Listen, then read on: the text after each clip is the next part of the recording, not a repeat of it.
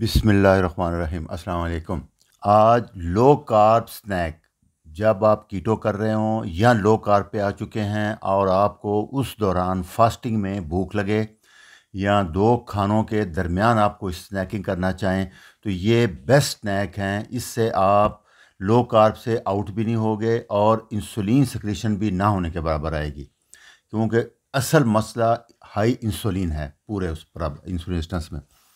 तो सबसे बेस्ट है, अगर कोई बहुत ज़्यादा भूख है और वेट भी लॉस है, कम है तो वो दो हार्ड बॉयल अंडे। दो अंडे, उसमें एक ग्राम कार्बोहाइड्रेट होगा। आप हाफ़ बॉयल कर लें तो वो बेहतर रहेगा। चीदार चीज़ एक शीट आती है इसकी, पच्चीस ग्राम की उसमें पॉइंट फोर सबसे कम कार्बोहाइड्रेट होता है। उसके बाद वालनट है, अखरोट है। आप देखें, सात पूरे अखरोट या चौदह हाफ़ आजकल ये छिले हुए जो आ रहे हैं, वो हाफ़ में आ रहे हैं। और बादाम है इस तरह। ये तकरीबन बाईस तेईस बादाम होंगे। इसमें two point five gram carb होगा। ये लो कार्ब और पीकान वो भी अखरोट की तरह आते हैं। वो आठ, उसमें और कम है, वो सोलह हाफ़ ले सकते हैं आप। तो ये दरमियान में, ये ए, इन सब में से एक चीज़ लेनी है। ये ना वो सारे ले लें। कोई एक चीज़ सेलेक्ट कर लें आप, इससे आप स्नैकिंग कर सकते हैं।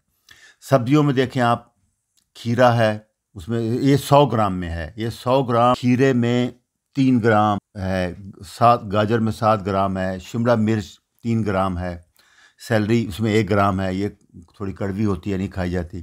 तो ये सब्जियों में खीरा आप या गाजर आपके लिए बेस्ट है, स्नैक के लिए।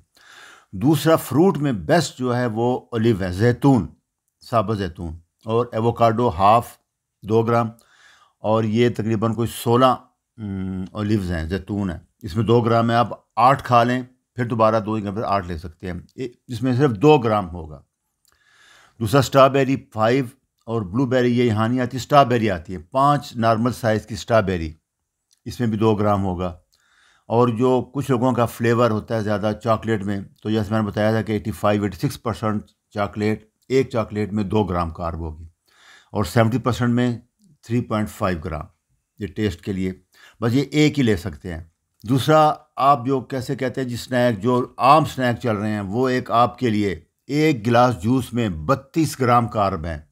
ये जो बार बोतलें आ रही हैं, जो जूस के नाम पे बत्तीस ग्राम उसमें है कार्ब है। ये हंड्रेड एम है। अच्छा अंगूर में देखें, चार ग्राम है, दस दानों में।